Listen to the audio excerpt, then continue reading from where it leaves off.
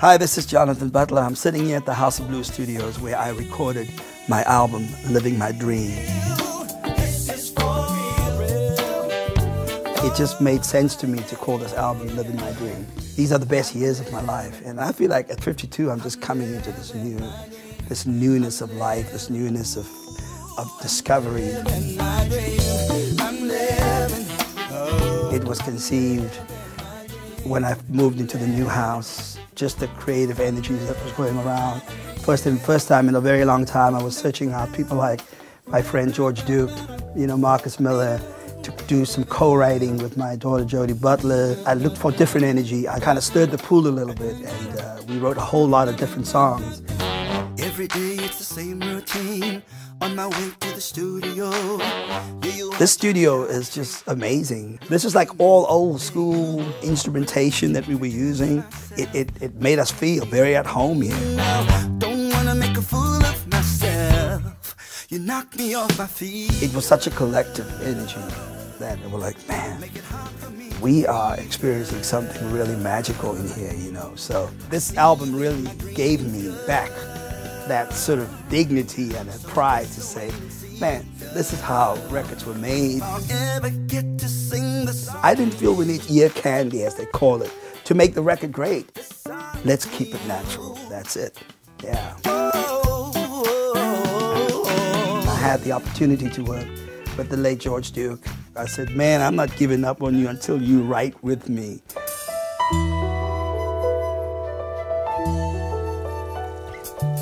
The night before, he was in hospital. And uh, he surprised me. He came straight into the studio and sat here, listened to the music, and we wrote a song called Be Still.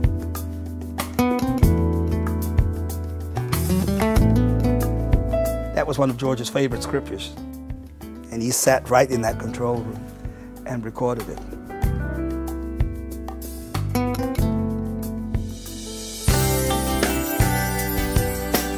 And I love the song I wrote called Heart and Soul. Baby, I'm on my knees. Can't you see I'm begging you? I, I'm, I, am not even gonna lie to you. I sat in front of my piano and wrote the song, tears rolling down my eyes, within 20 minutes. I,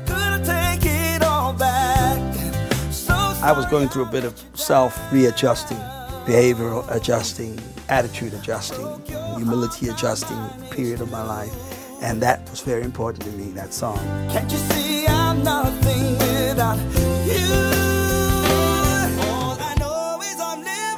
I don't want to sing songs that doesn't make me feel whole anymore because it's like I've always had the R&B flavor in me. I've always had the pop flavor in me.